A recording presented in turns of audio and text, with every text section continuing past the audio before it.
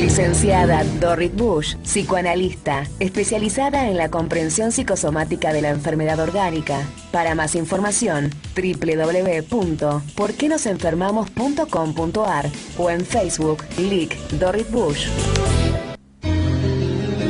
Muchísimas gracias. Ahora sí, como todos los jueves a esta misma hora estamos conversando con nuestra benemérita licenciada especialista en psicosomática, psicoanalista ella, Dorrit Bush. ¿Cómo le va, licenciada? Buen día. Buen día, Jorge. ¿Cómo está usted? Bien, este día hermoso. Sí, divino. A mí me encanta el otoño. El otro, tiene razón, ya empezó, no parece, pero ya empezó. Ah, no sé si ya empezó, empezó. Sí, sí, sí, sí, sí, sí creo que ayer. Ayer. ¿No es, siempre el 21? ¿El 21? Va, no sé. Pero el otoño es divino, no hace ni tanto calor, no hace tanto frío. Generalmente está más o menos lindo. Como el chiste del gallego, no hace ni frío ni calor, cero grados. Claro, exacto, exacto. Sí, generalmente el otoño y la primavera son las este, estaciones más apacibles. ¿no? Sí, pero la primavera suele ser más agitada y muchísimo más viento generalmente. Y los alérgicos la sufrimos mucho. Por eso. Bueno, ¿cómo bueno, Basta de meteorología, Jorge. y bueno, estábamos con este título que habíamos puesto, Vivimos entre la realidad material y la fantasía. Sí, sí. Bueno, acá lo ve bien, porque la realidad material será una, cuando está lindo, cuando está feo, cada uno lo vive de otra manera. Sí, sí, sí, sí, ah, totalmente. Pero bueno, la vez pasada estuvimos hablando de que somos en función del mundo y de las personas que nos rodean. Estuvo muy buena esa charla y muy buenos comentarios he recibido, ¿eh? muy linda. Los que le interesan pueden ir a ver en, en YouTube y reescuchar de nuevo la charla que tuvimos, pero bueno, las personas, el mundo que nos rodea es lo que nos da la identidad ¿Qué es la identidad? identidad viene de idéntico. Sí. O sea que hay, algo en mí que yo supongo que permanece idéntico a lo largo del tiempo. Parece, ¿no? Porque a veces vemos una foto de cuando éramos más jóvenes, mucho más jóvenes, y casi no nos reconocemos. Sí. Y decimos, ese era yo, no ser, ¿no? O es decir, es ese sentimiento de que yo siento que soy alguien, alguien que de alguna manera permanece en el tiempo, a lo largo del tiempo, o sea, idéntico a sí mismo. Pero bueno, esto es bastante complejo, porque como dice usted que estudió tanto filosofía, todo cambia, nada permanece. ¿No? No sé si fue Heráclito o quién. Bueno, había un ejemplo eh, de dos palabras cuando decía, no sé si era Heráclito exactamente, los presocráticos, donde decía que nunca el, río es igual porque este, nunca es la misma agua. Claro, nunca es la misma agua, pero en realidad también hay algo que hace que yo reconozco ese río y lo diferencio de otro. Cierto. O sea, usted estará siempre cambiando y yo estaré siempre cambiando y cuando veo una foto de cuando era chica digo esa era yo, pero hay algo, algo permanece que en realidad esto sería algo así como la antilógica que siempre plantea este médico alemán que yo siempre cito, la antilógica de, la, de la vida, que la vida no es tan lógica. Entonces soy el mismo y en realidad no soy el mismo, voy cambiando. Y las dos cosas son válidas. Sí. ¿Es así? Y, esto, y bueno, lleva a, preguntarse muchas cosas. Lleva a preguntarse qué es la realidad. En el fondo, ¿qué es la realidad? En el fondo, ¿quién soy yo? ¿No? ¿Cómo soy yo? Que dijimos la vez pasada que también soy en función de la persona con la que estoy. Sí. ¿no? Y mire, están a tal punto que a veces uno, por ejemplo, supóngase que yo tengo un grupo donde canto en el coro, póngale, y siempre nos vemos ahí. Y un día veo una de las personas del coro fuera de contexto, eh, póngale en el supermercado y capaz que ni lo reconozco. Claro. Seguro que les ha pasado a los que escuchan que a veces uno ve a alguien sacado del contexto y, uno mira y dice, a ver que esta persona la conozco. O sea... A mí me pasó. Y bueno, a mí también me ha pasado. no, pero me refiero a que una vez de casualidad estaba en un lugar donde con un amigo me llama por el apellido. Hola, ¿cómo andás, Giacomelli? Y el de la agencia de lotería, yo no iba a jugar, ¿eh? porque no me gusta el juego. Entré para saludar a este amigo y el, y, el hombre dice, ¿vos sos Giacomelli, el de la radio? Bueno, y me miró como diciendo, pensé que eras más lindo, pero bueno, no importa. no importa. Este... Es siempre esa melancolía, bueno. y bueno, pero ¿por qué esto es importante en, del tema de la psicosomática, del tema de la enfermedad, del tema de lo que, lo que hablamos? Yo, por ejemplo, mi nombre, ¿no? Yo, yo soy Dorrit, pero como ese nombre en su momento no lo aceptaron, en la, el documento estoy puesta Dorotea. Y yo, por ejemplo, este, soy socia de un club donde yo me cansé de decir que me llamo Dorrit porque nunca nadie lo entiende y tengo que explicar mucho tiempo. Entonces ahí soy Dorotea. Entonces, ya se cansó. Ya me cansé, pero cuando me dicen Dorotea me siento un poco diferente de cuando me dicen Dorrit. Capaz que no se da vuelta en la calle si le gritan Dorotea. ah, también, sí.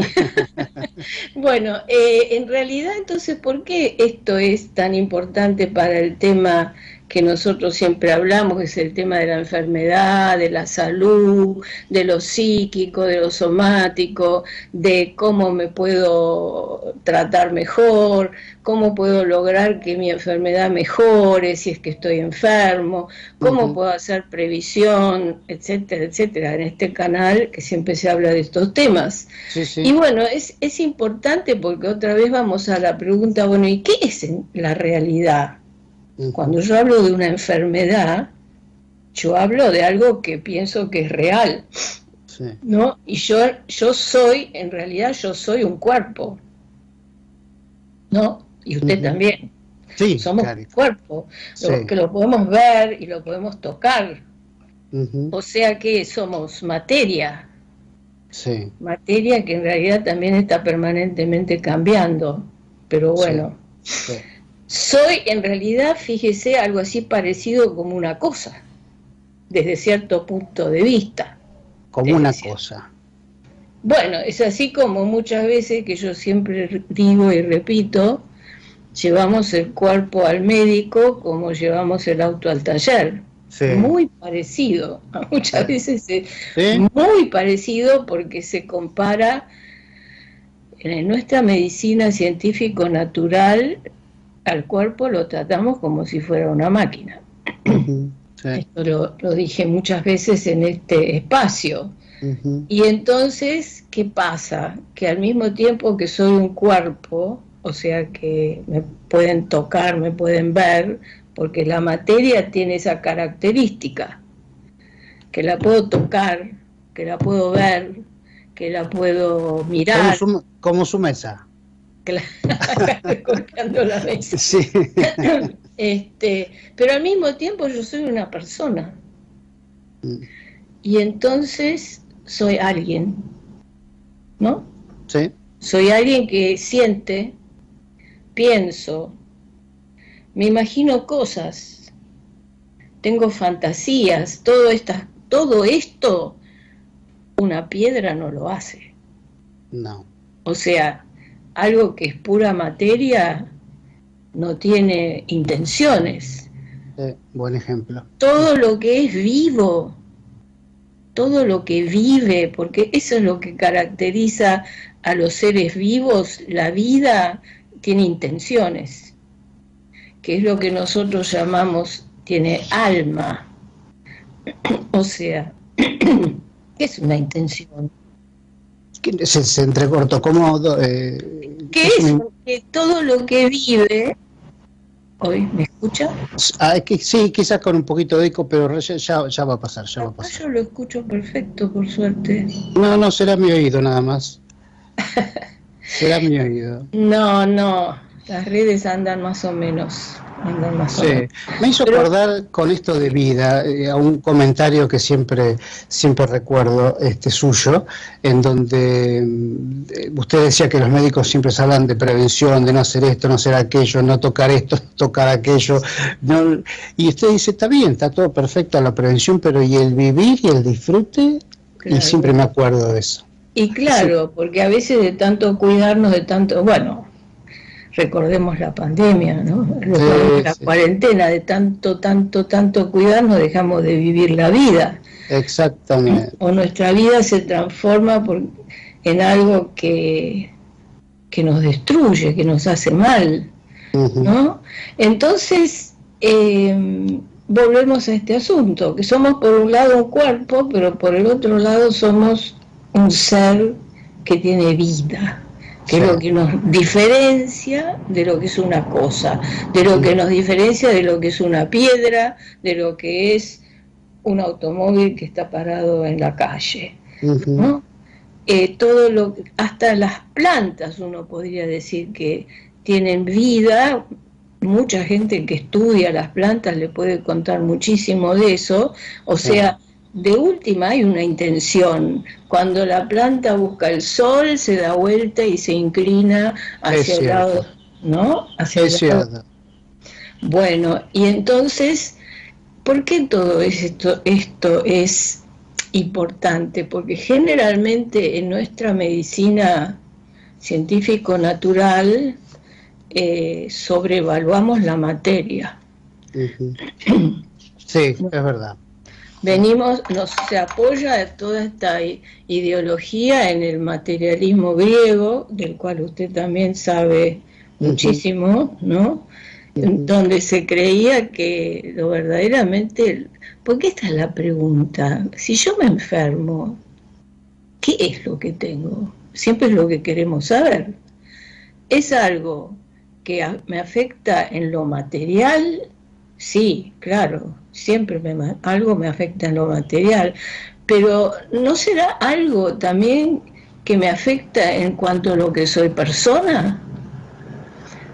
Por eso es importante preguntarse, ¿a qué llamo realidad? ¿A qué llamo enfermedad? Bueno, cómo ah. fueron cambiando los conceptos porque el que inaugura, inaugura de alguna manera el materialismo fue Aristóteles con su famosa frase lo que es en tanto que es y se acabó el tema. Esto es esto y punto. Sí, claro. ¿Mm? Y en general nosotros de alguna manera nos gusta esa idea porque buscamos siempre las certezas Sí, nos gusta tener una certeza. Nos gusta que nos digan si te vacunas, estás seguro de que no te vas a enfermar o que no te vas a enfermar grave. Y ahí estoy aliviada. Claro, claro. Por eso este médico alemán dice que en realidad tenemos la medicina que queremos tener. ¿Y qué queremos tener? Certezas. Es verdad. Queremos estar seguros de que si hago, voy por este camino, entonces la cosa va a funcionar y después nos encontramos con las grandes sorpresas, ¿no? Porque justamente por lo que yo digo, porque somos personas, porque nos habita un, nos habita el alma, nos habita nuestras intenciones, nuestros propósitos, nos habita un inconsciente, ¿no? Fíjese este tema de, lo material, ¿no? Eh, alguien lo que yo siempre cuento el ejemplo de que si alguien se puede morir porque le clavan materialmente un cuchillo en el corazón, o alguien se puede morir de un infarto porque le traen una noticia que le parte el corazón. Esto no es pavada, Jorge. No, bajo ningún punto de vista. pero pasa del, ¿sabe qué? No terminamos de creer. Y de última, no, todo lo que nosotros hacemos se basa en las creencias que tenemos. Nos, nos impresiona, decimos, sí, sí, es muy cierto, pero al final después siempre tenemos una cierta tendencia de inclinarnos hacia el lado de que, bueno, pero algo, esto es algo orgánico. ¿Lo habrá escuchado? Uy, ¿me escucha? Perfecto. Ah, porque tengo la sensación de que se está interrumpiendo, ¿no? No, no, no, perfecto. como que eh, este, cuando alguien dice, ah, bueno, pero esto es algo orgánico, más tarde en algún momento voy a consultar al psicólogo, mm. ahí se nota muy clarito de que se le pone toda la importancia en lo físico. Y que uno no, nosotros, en la escuela del doctor Luis Quiosa, de la cual yo vengo, pensamos que toda enfermedad del cuerpo es como un gesto que hacemos en realidad. Es la expresión de algo que nos pasa, como cuando te alguien se pone colorado porque siente vergüenza, o alguien se pone a temblar porque tiene miedo. En realidad, fíjese que el temblor es como un síntoma. De hecho, hay una enfermedad que se llama temblor, tener temblor esencial, que no se sabe de dónde viene. ¿No? Eso no sé si usted... no la escuché. No la escuché. Sí, hay, hay personas que, que les tiemblan las manos como si fueran parkinsonianos, pero no son parkinsonianos. No tienen Parkinson, pero es así, igual, les tembla así la mano y se llama temblor esencial.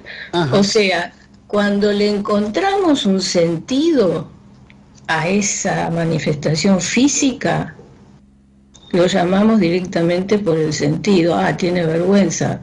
Ah, está temblando porque tiene miedo. Pero cuando el sentido se nos escapó, porque ya está más reprimido, decimos, ah, tiene un cólico renal, esto es orgánico.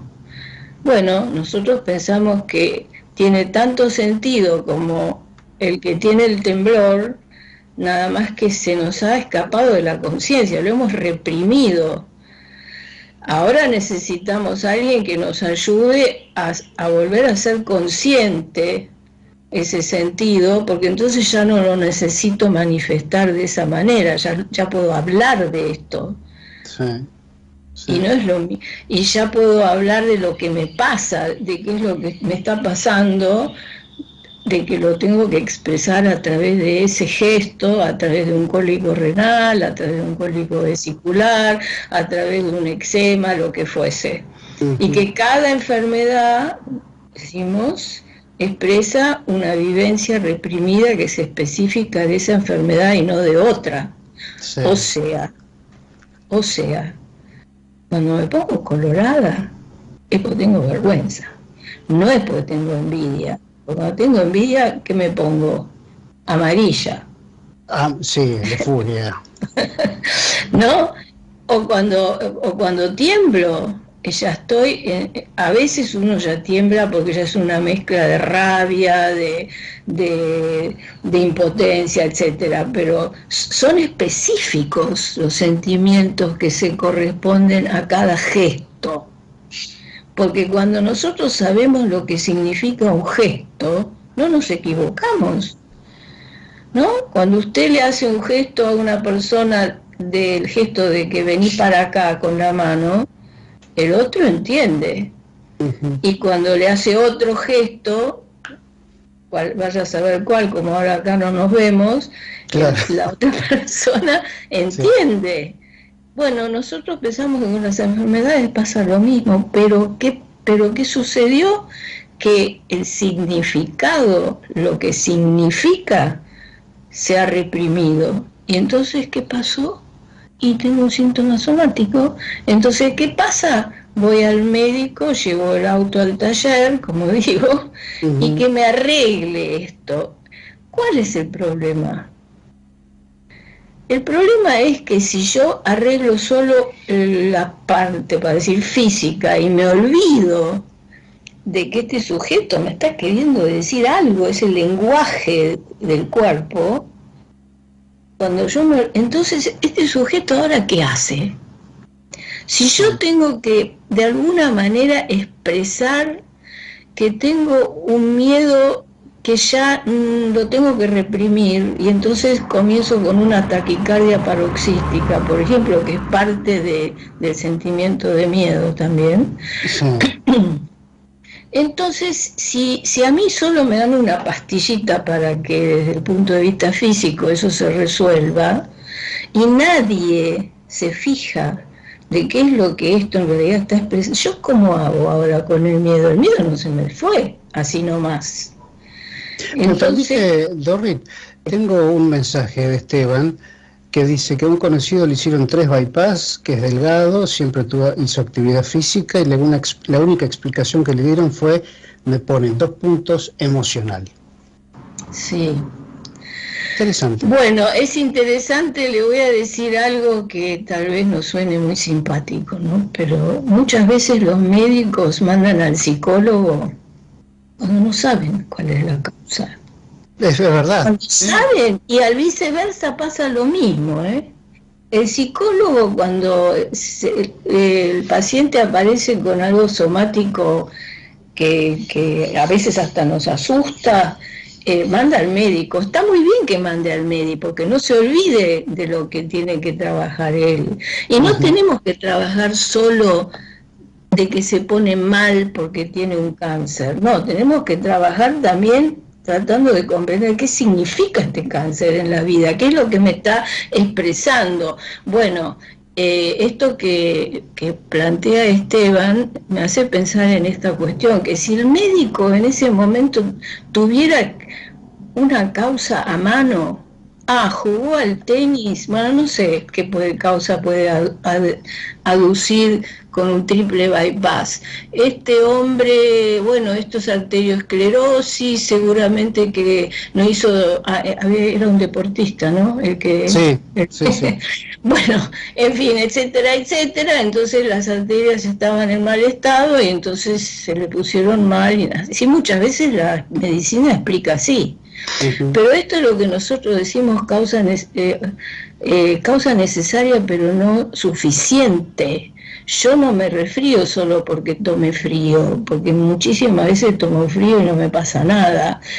Eh, vaya a saber por qué se me fueron estrechando las arterias. Hay gente que come grasa hasta el cansancio y no le da arteriosclerosis. Grasa o no sé, todo lo que no hay que comer para, para cuidar el colesterol, por ejemplo. Mire, un, eh, uno de los este, médicos que más sabe de nutrición en nuestro país, conferencista en el mundo, el doctor Carlos Castells, me decía que eh, él en Córdoba, pero da conferencias en todo el mundo, me decía, cuando yo voy a ver a mis pacientes, porque él oficia también como médico este, generalista, este, y va, le gusta ir a domicilio a ver a sus pacientes, ¿no? Cosa rara ya hoy en día.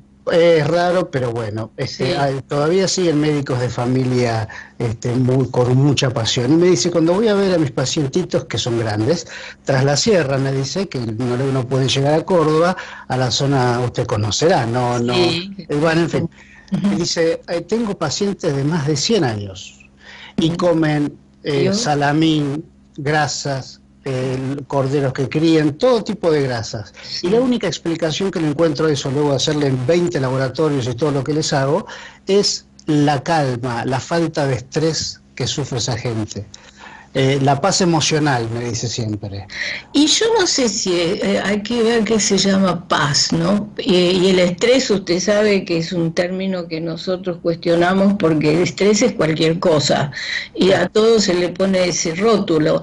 Yo diría que son personas que viven una vida porque todos tenemos conflictos y todos cuando hacemos que, es una vida más armónica diría yo. Y tiene que ver con la personalidad de cada uno también y tiene que ver con la personalidad pero también tiene que ver con el entorno como volvemos Totalmente. a hablado. No es lo mismo vivir en una ciudad donde uno está muy presionado que es lo que llaman estrés pero cada uno vive la presión de otra manera a vivir pero no solo eso, sino que ahí hay más vida social, la gente se conoce, se saluda en las calles, no vivimos tan solos. Sabes que la gente grande hoy en día está muy sola en las ciudades, Jorge. está muy sola porque la familia, la familia como entidad tan tan sólida, tan continente como siempre era, el papá, la mamá, los abuelos, la abuelita, los tíos, los tíos, los sobrinos,